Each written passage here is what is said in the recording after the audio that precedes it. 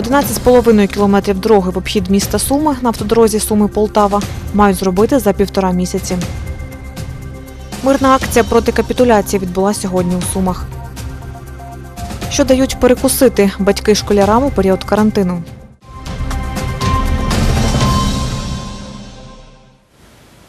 Добрий вечір. Випуск новин за 10 вересня. Далі до вашої уваги. Обхід міста Суми на автодорозі Суми Полтави мають зробити за півтора місяці. Це 11,5 кілометрів дороги із 20. На ремонт запланували 177 мільйонів гривень. Це кредитні гроші, які Укравтодор залучив під державні гарантії. Обхідна дорога, яку тут ремонтують, сполучає місто Суми та Полтаву. Вона державного значення. Робити її розпочали тиждень тому на замовлення служби автодоріг. За словами заступника начальника служби у Сумській області Сергія Овчаренка, раніше її тільки латали. Зараз тут поточний середній ремонт. Договір заключений на всю ділянку і ну, проведена процедура закупівлі, але під наявне фінансування 177 мільйонів буде відремонтовано 11,5 кілометрів дороги.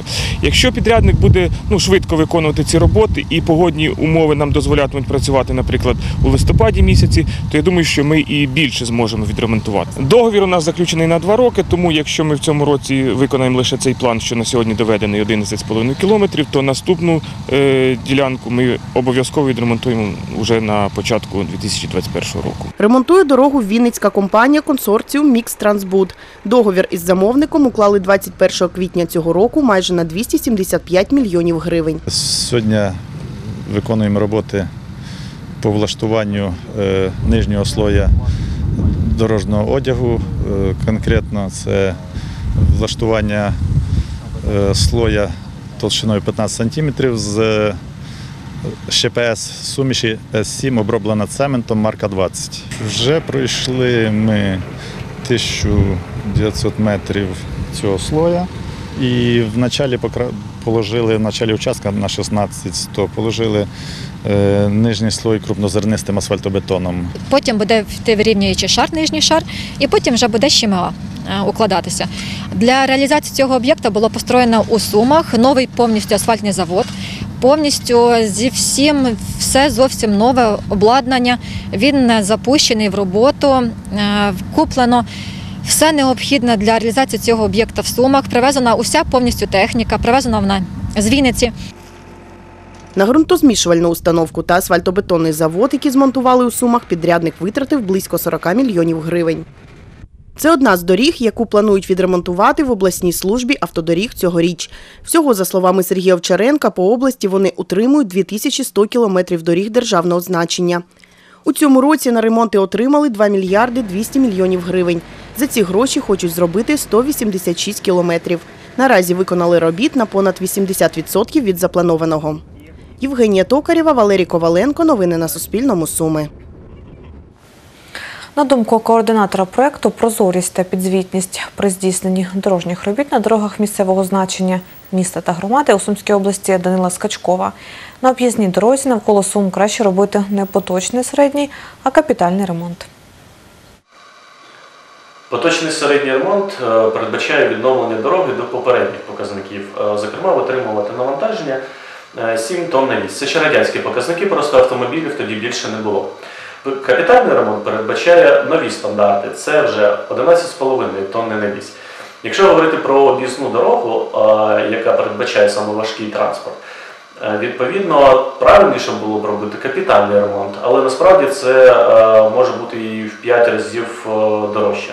Щоправда, і служити буде також довше. Щодо цього тендеру, у травні СБУ відкривала провадження, бо запідозрила у фіктивності фірму, яка мала б виконувати роботи. Матеріали справи тоді передали до поліції. За нашими джерелами у правоохоронних органах наразі провадження закрито. Співробітник відділу комунікації Нацполіції Сумщини Володимир Кузьменко інформацію щодо цього провадження пообіцяв надати завтра. На маршруті 51 у Сумах наразі працює визначена договором кількість автобусів, і збільшити їх перевізник не має змоги. Таку відповідь ми отримали від начальника відділу транспорту Сумської міської ради Сергія Яковенка на питання, як вирішити проблему проїзду людей із села Піщаного, яка зараз, яке зараз входить до Сумської ОТГ. Посадовець нам відповів письмово, цитую. Проблема дійсно має значення і актуальна не лише для цього напрямку. Причина у обмеженнях, встановлених Кабінетом міністрів України, згідно з якими забороняється перевезення пасажирів у кількості більше, ніж кількість місць для сидіння, що передбачено технічною характеристикою транспортного засобу. Відділ транспорту, зв'язку та телекомунікаційних послуг звертався до перевізників приватних і КП «Електроавтотранс» із проханням залучати до перевезень максимальну кількість наявного у них транспорту, але бракує водіїв. Про ситуацію в інших регіонах країни ми спитали у голови громадської організації Всеукраїнське товариство сприяння розвитку пасажирського транспорту Володимира Заславського.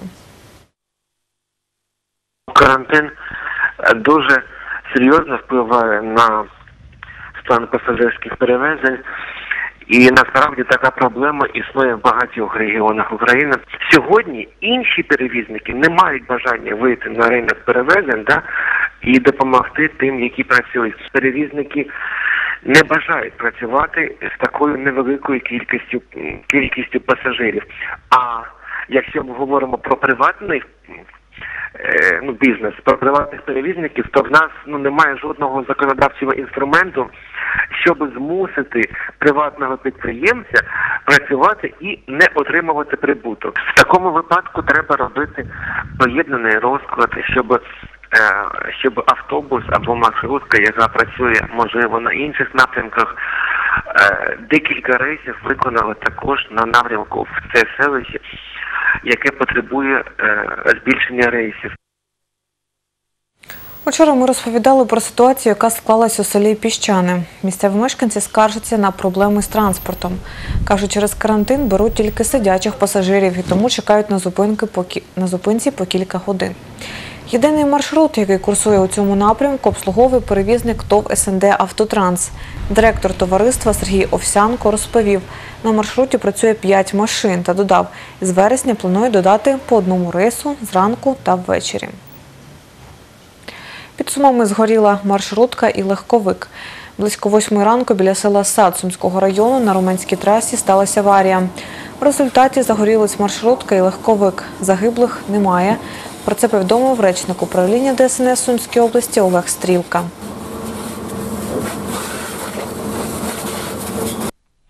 В автобусі ГАЗ, окрім водія, нікого не було.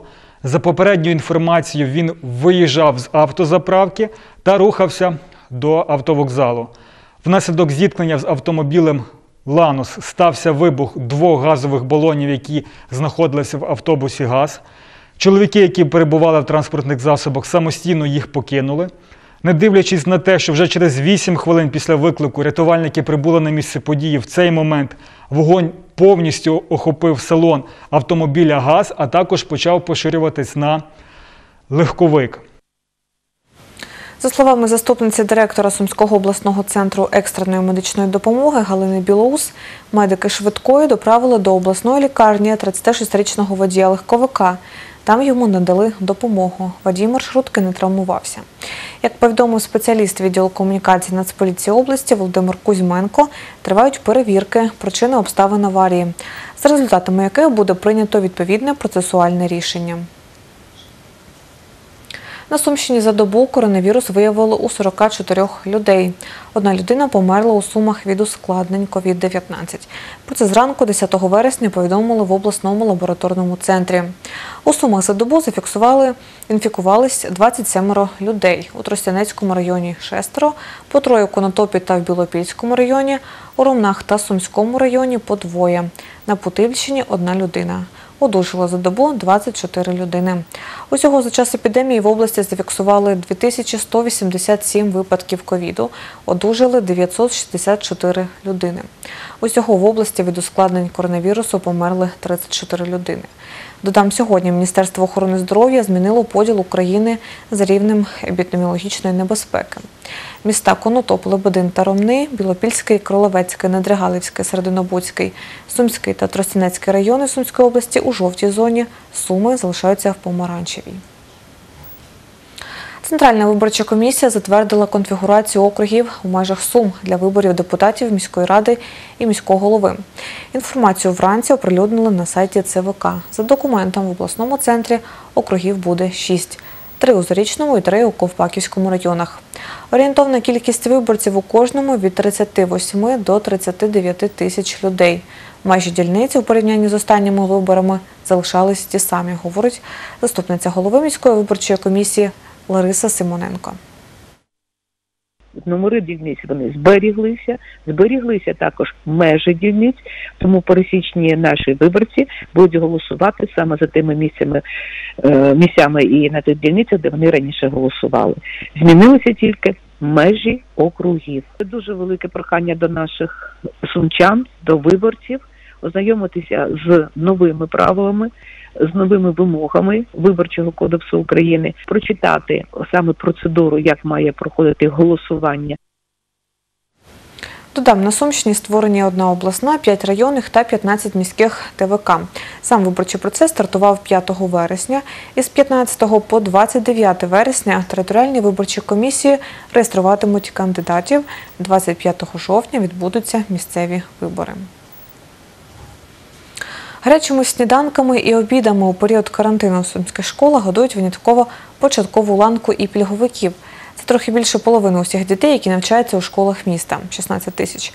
Батьки решти мають забезпечувати дітей їжею самотужки. Що дають прикусити, дивіться далі у репортажі. М'ясо, сир, овочі та фрукти для повноцінного раціону щодня мама Катерина запаковує в школу для своєї 15-річної доньки Адріани. Раніше дівчинка харчувалася в їдальні. Ми спокійно поставились до того, що дитина буде харчуватися самостійно. Власне кажучи, мені простіше зібрати їй е, з собою якийсь обід, ніж вона з'їсть якусь холодну булочку, незрозуміло походження. Адріана такими обідами задоволена. Я слідкую за своєю фігурою, але їм тільки корисну їжу. Тобто чіпси, сухарики, гази- газировану воду я не їм і не п'ю. Мама Ольга теж щодня складає своєму синові шкільний обід. На завтра у меню буде гамбургер. Роблять так ще з минулого року з ініціативи сина. Підлітковий вік, я, я не знаю. Всі відмовилися, і він відмовився. Це задовольняє нас обох. Я сучасна мама, син у мене дорослий, сьомий клас. Тому гамбургер я вважаю, що це найкращий перекус для школяра. Андрій каже, найбільше любить у маминих перекусах шукати сюрприз, щось солодке. Шоколадка. Мене мама так любить. У школі номер 8, де навчається Андрій, гарячими сніданками та обідами годують дітей, які залишаються у групі подовженого дня та пільговиків. Таким був сніданок сьогодні на 14 гривень. В сніданки входить різноманітне меню. Це може бути, наприклад, сьогодні картопляне пюре з маслом, е, риба припущена за меню Євгена Клопотенка, е, хліб, е, чай і яблуко. І салат з буряка відварного. Учні перших-четвертих класів отримують е, сік та печиво і харчуються в класі. Туди їм власне доставляють е, в клас класні керівники. Дітки, які приносять їду із ланчбоксів, вони харчуються так само у класних кабінетах, де за ними закріплені місця. У міській освіті розповіли, учнів 5-11 класів у сумських школах зараз не забезпечують харчуванням узагалі. З майже 29 тисяч цьогорічних школярів харчують у школах трохи більше половини. Більшість із них охоплені не гарячим харчуванням, а пакетованим. Всього 38 шкіл, е, три заклади. е, Це не готують зовсім е, гарячого харчування. Наприклад, школа номер 23 в ремонті перебуває харчоблок, капітальний ремонт харчоблоку, який е, продовжується. Сподіваємося, що скоро завершиться, але на, на сьогодні не можна організувати харчування. Школа номер 9 теж відбувається ремонт харчоблоку. 29 школа. Це школа повного дня. Дітей понад 1600. І е, охопити всіх гарячим харчуванням, ну вони не зможуть завершити це і до 9 години вечора. До карантину суто гарячим харчуванням забезпечували до 20 тисяч дітей. Маргарита Марченко, Сергій Лазаренко, Олександр Сокол. Новини на Суспільному Суми.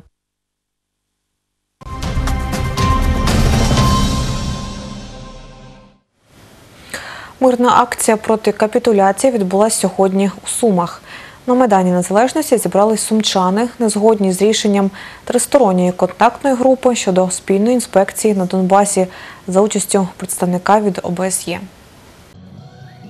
Учасники акції почали збиратися на Майдані Незалежності близько 18-ї години.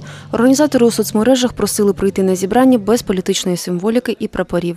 На плакаті зображені зрадники України Кравчук, Єрмак та Зеленський, які підтримують капітулянську політику та ст- стають на сторону Росії, дозволяючи їм інспектувати наші позиції ЗСУ.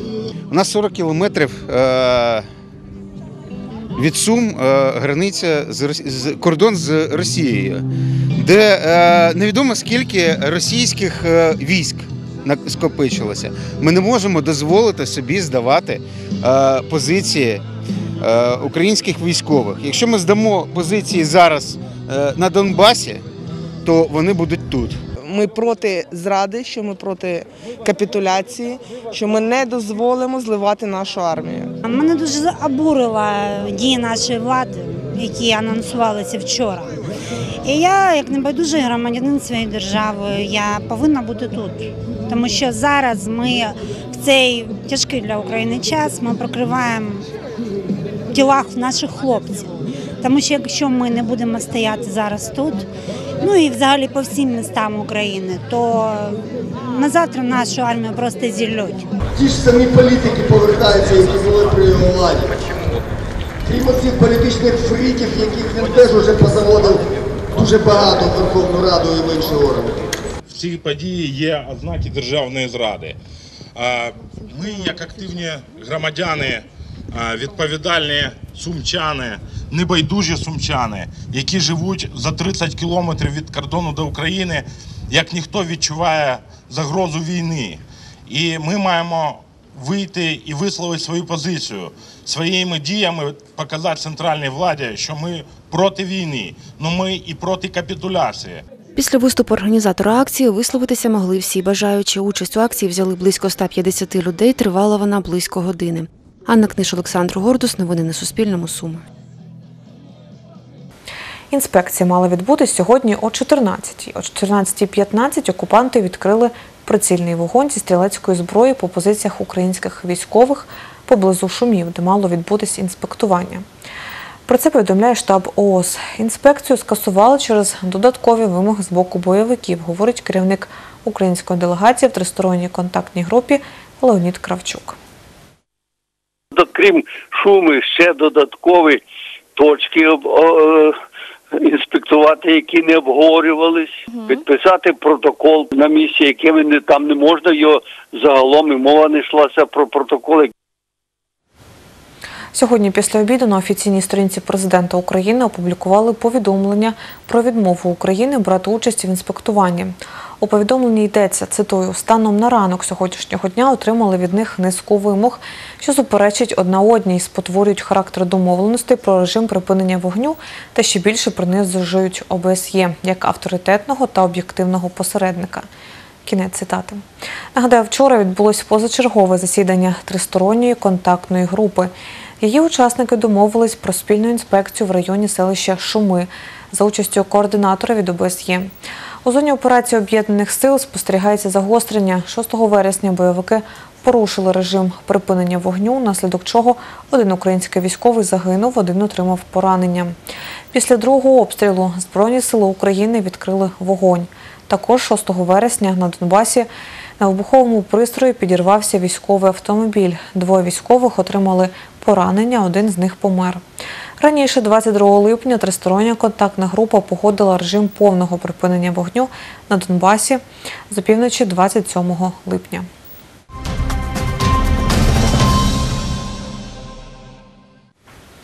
Сьогодні у будинку футболу у Києві відбулось жеребкування другого попереднього етапу Кубку України з футболу.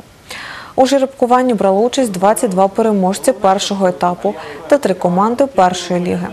У групі С у суперники Липоводолинському альянсу дістався Рівненський Верес. Єдиний представник аматорського чемпіонату Миколаївська Вікторія отримав у суперники Дінас з Вишгороду. Результати жеребкування прокоментували головні тренери команд Сумщини. Это же футбольное поле. Будем готовиться хороший соперник, поэтому 50 на 50. Я вважаю, що на професійному рівні немає слабких суперників, але звичайно це такий суперник, з яким е, можна і варто грати. Матчі другого попереднього етапу Кубка України з футболу заплановані на 16 вересня на полях Альянсу та Вікторії. Крім того, стали відомі пари попереднього етапу розіграшу аматорського Кубка України. Велетень з Глухова у першому матчі зіграє на виїзді проти Академії футболу СК Київ, а Севернівський колос проти команди Скіф з Шульгинки Луганської області. Футбольний клуб Нафтовик з Охтирки прийматиме ФК Вовчанськ з Харківщини, а футбольний клуб Суми команду Лозуватка з Дніпропетровщини. Попередній етап розіграшу Кубку складатиметься з двох матчів. Вони будуть зіграні 16 і 23 вересня. Зі стадії однієї восьмої фіналу боротьбу за кубок включається Вікторія з Миколаївки. На цьому ставлю крапку. Більше завжди зможете знайти на нашому сайті. Хай щастить!